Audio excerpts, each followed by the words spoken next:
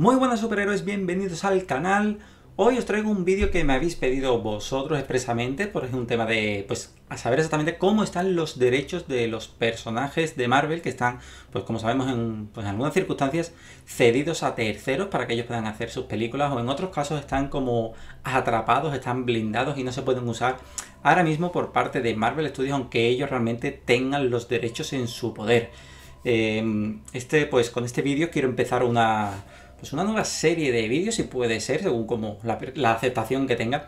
Y es pues intentando responder o ir haciendo esos tipos de vídeos que, que, me pedís vosotros. Ya digo, este me lo habéis pedido expresamente vosotros. Concretamente este vídeo me lo ha pedido el usuario Vladeborno y se lo agradezco porque evidentemente así tengo pues también contenido para el canal que vosotros me pedís. Y como digo, la idea es que vosotros también me vayáis pidiendo pues qué tipo de cosas os gustaría que tratase en el canal. Eh, ya incluso algunas veces he recibido peticiones vuestras de cosas para, para hacerlas, tengo ahí anotadas, pero bueno, también nuevas ideas serían bienvenidas. Podéis dejar en, el, en los comentarios de este vídeo, la comunidad del canal todavía no está habilitada, tengo que ver exactamente qué es lo que pasa, también con la situación actual es un poco complicado.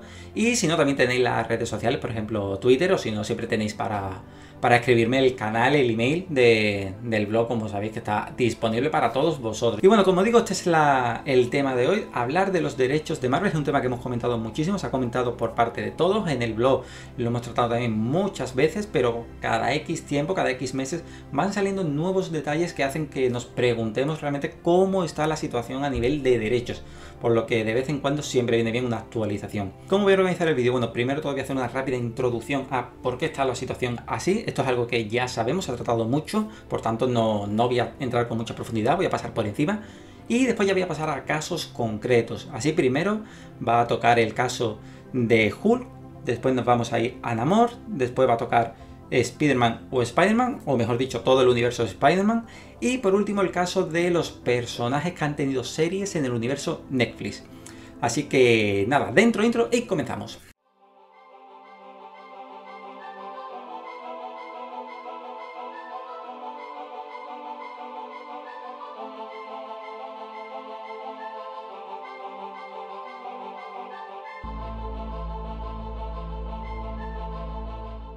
El primer punto, como decía, es por qué estamos en esta situación.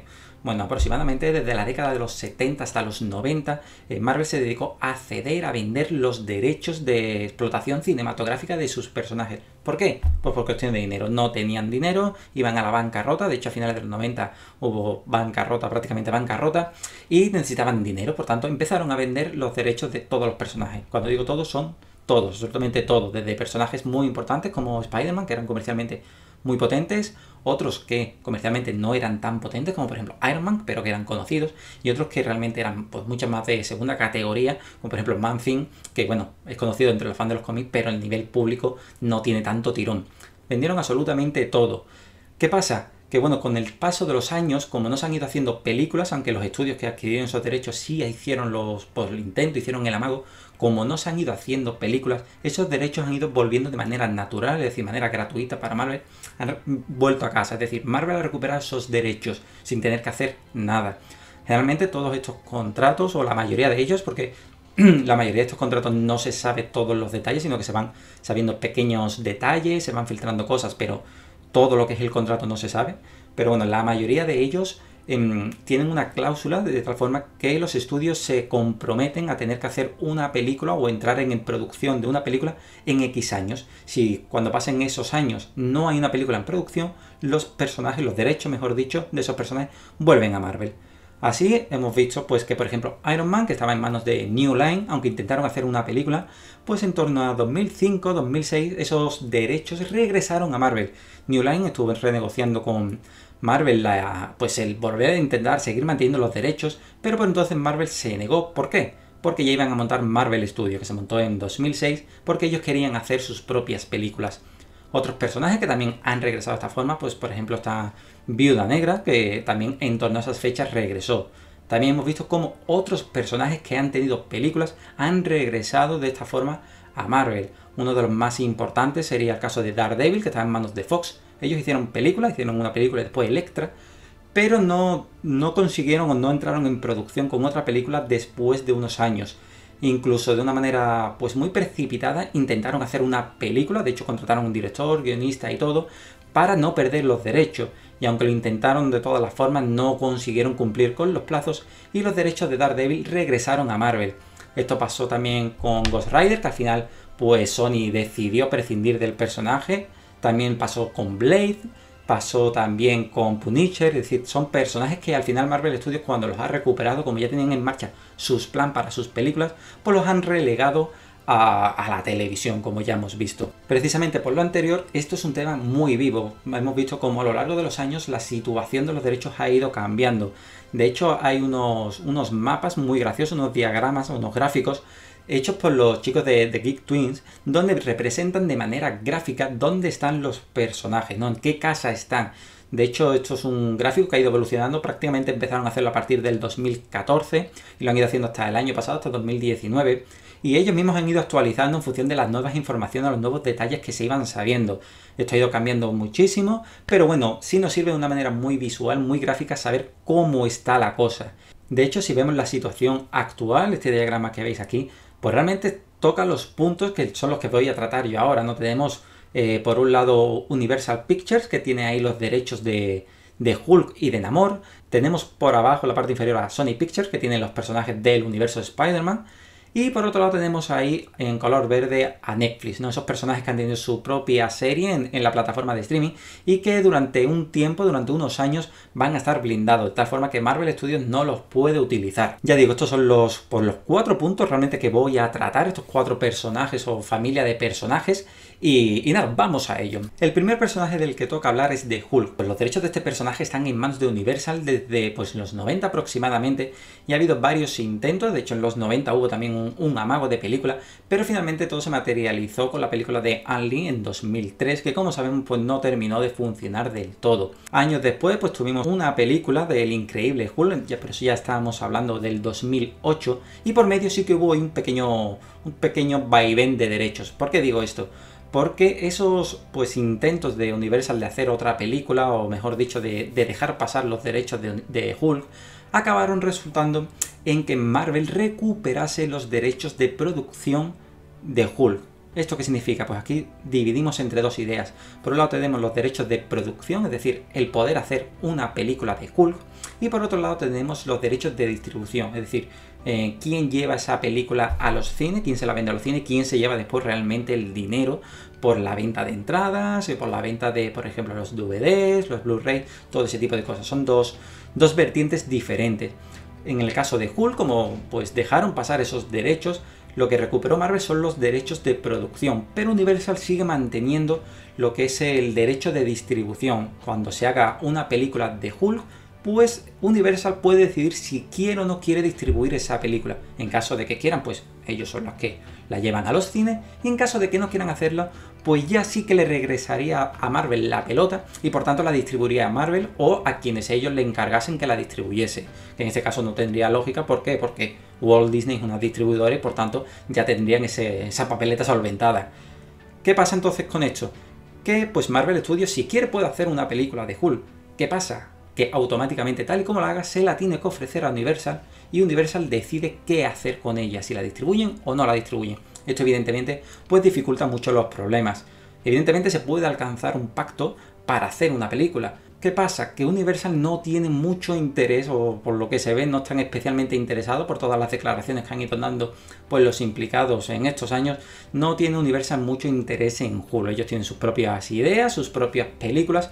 Y Hulk, después también del batacazo que se han pegado, pues las dos películas de Hulk, aunque el increíble Hulk se salva más, pero bueno, no llegó a ser un éxito en taquilla pues evidentemente Universal no tiene muchas ganas de seguir haciendo cosas con el gigante. Y lejos de ponerse la papeleta fácil a Marvel, pues siguen ahí pues molestando un poco. Marvel sí encontró pues el movimiento, la jugada de colocar a Hulk en las diferentes películas de Marvel, pero que no estuviesen protagonizadas por Hulk. Es decir, los derechos de Universal solo aplican en caso de que hablemos de una película en solitario protagonizadas por Hulk podemos colocar así a Hulk en, pues, en Thor Ragnarok, como lo hemos visto, o en las películas de los Vengadores, sin que Universal pueda decir absolutamente nada.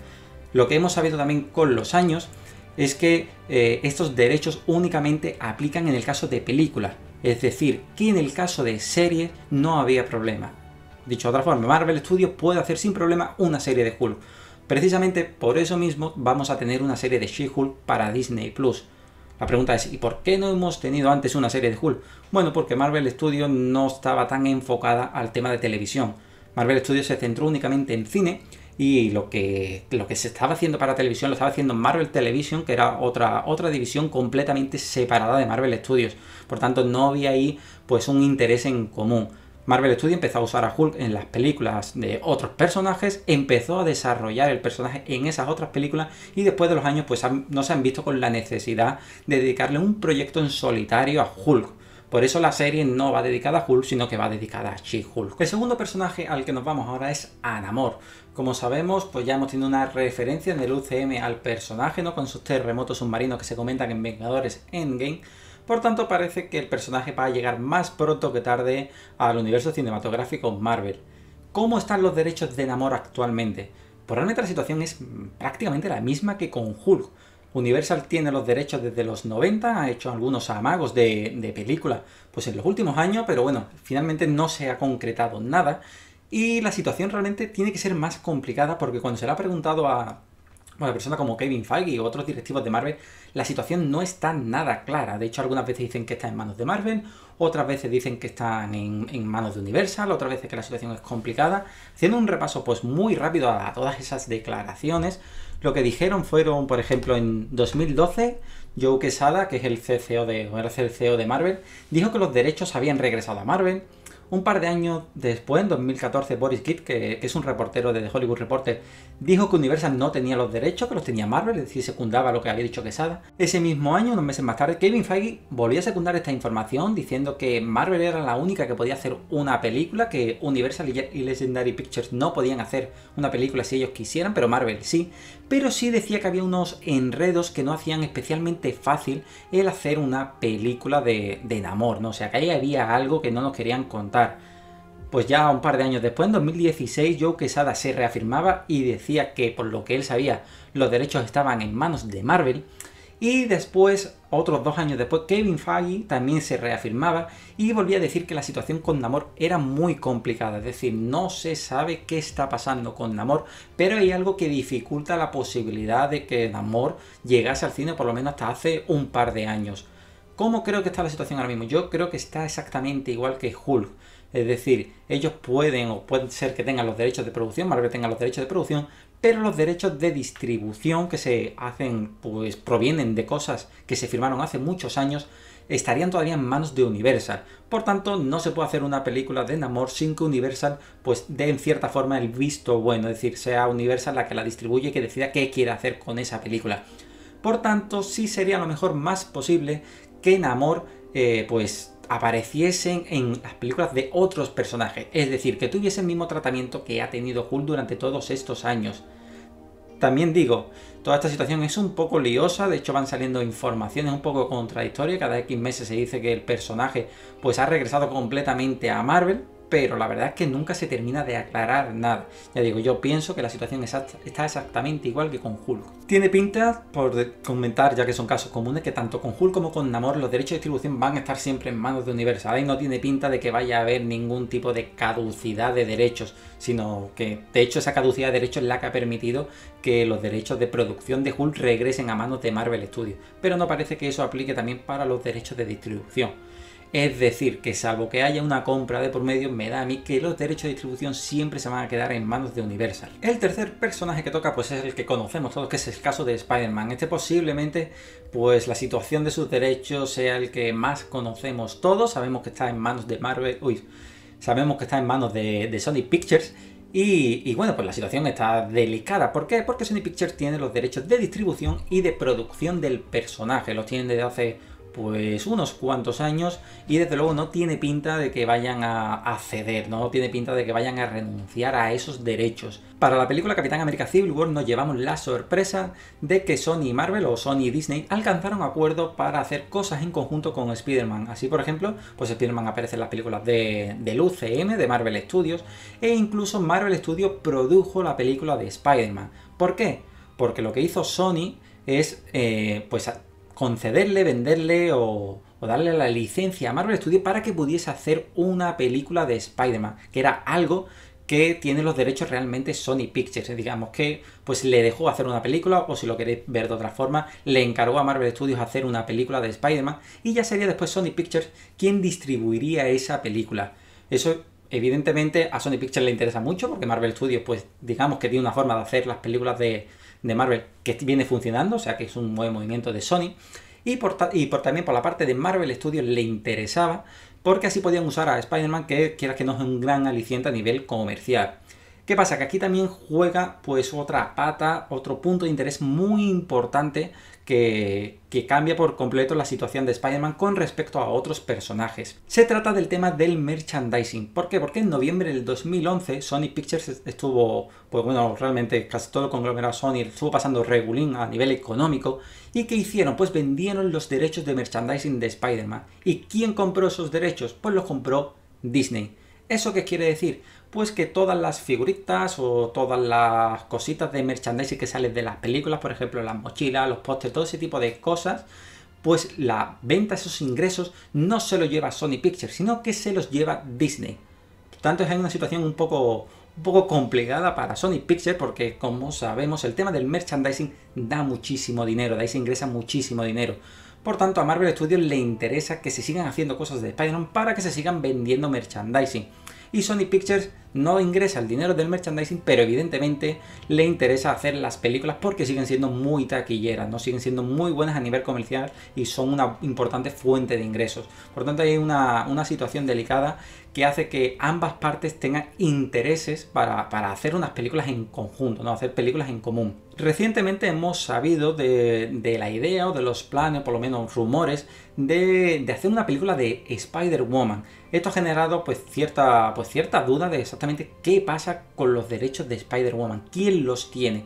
Teóricamente, pues se decía que estaba en manos de Sony Pictures, que, que, incluso Kevin Feige de Marvel Studios había hablado con Sony Pictures para poder hacer una película, pero no terminaba de quedar muy claro cómo estaban los derechos, sobre todo porque en el caso concreto de Jessica Drew, pues no está muy claro que tenga mucha relación con Spider-Man, porque de hecho el personaje tiene más relación con el resto del universo Marvel que, con el personaje de Spider-Man propiamente dicho. Por lo que se dice, esto no se sabe a ciencia cierta, pero por lo que se dice, los derechos del personaje estarían divididos, ocurriría una situación más o menos similar a lo que pasaba antiguamente con Mercurio y con Bruja Escarlata, que pues estaban en manos de Fox, ya sabemos que están en manos de Marvel, porque Disney compró Fox y por tanto pues ya forman parte del grupo de Marvel, pero antiguamente Fox tenía los derechos de los mutantes, pero Bruja Escarlata y Mercurio aparecieron en, Vengadores, la era de Ultron y después en posteriores películas, no en el caso de Mercurio, pero aparecieron, Bruja Escarlata fue apareciendo en otras películas.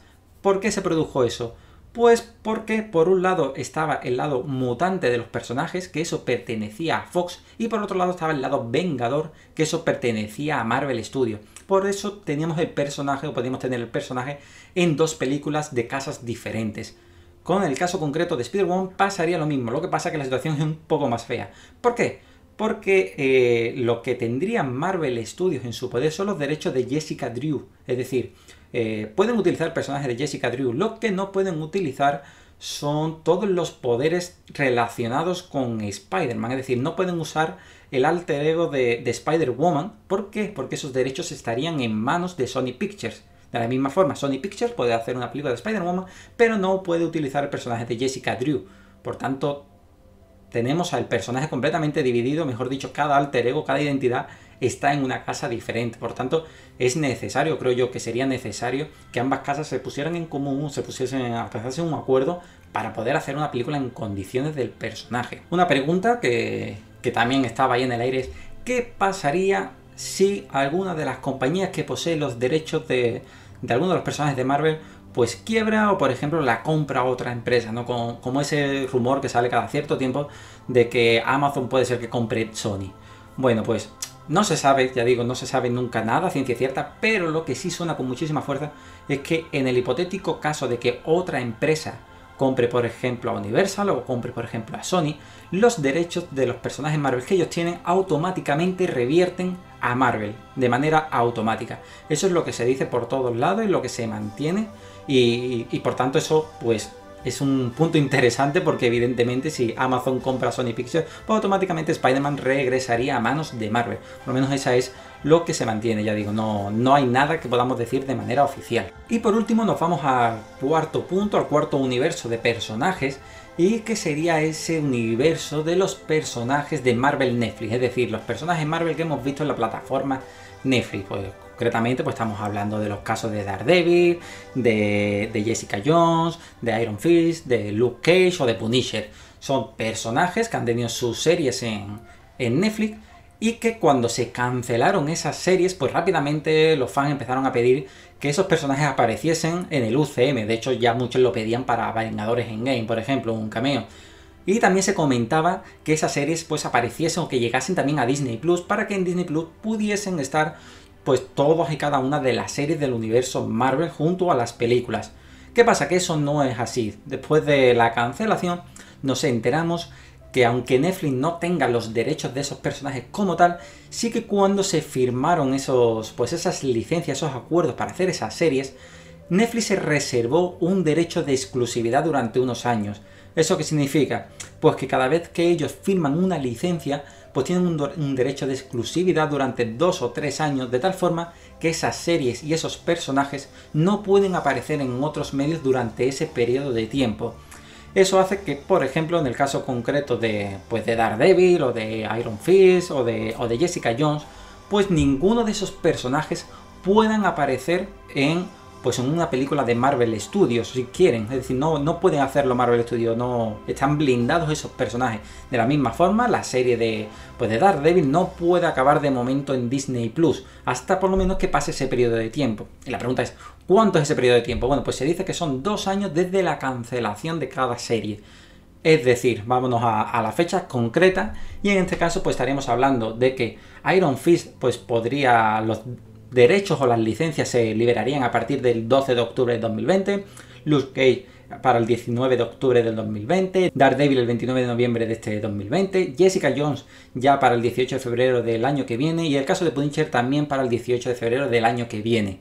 Es decir, ¿qué pasaría a partir de ahí? Pues que los derechos, o por lo menos que los personajes ya podrían ser utilizados por parte de Marvel Studios. Algo que sí he oído, mejor dicho, he leído pero que tampoco tengo estar muy, no estoy muy seguro del todo, es que se dice que realmente hasta que no lleguen esas fechas, Marvel Studios tampoco podría planear siquiera qué hacer con el personaje. Es decir, hoy día, pues hasta fecha, este mes en el que nos estamos moviendo de mayo, Marvel Studios no podría empezar a contratar a guionistas para trabajar en una serie de Daredevil, sino que eso lo tendrían que hacer a partir de noviembre de este año, que es cuando ellos regresan o recuperan los derechos del personaje. Esto es algo que ya digo, limita aún más, pero que, bueno, tampoco he podido confirmar de manera oficial porque realmente es que de esto se sabe muy poca información, pero sí se sabe que existe este contrato de exclusividad. Eso sí es una, una realidad que sabemos que existe. A partir también de cada uno de esos periodos, pues teóricamente cada una de esas series deberían o por lo menos podrían aparecer también en Disney Plus o Disney Plus según como según estos acuerdos.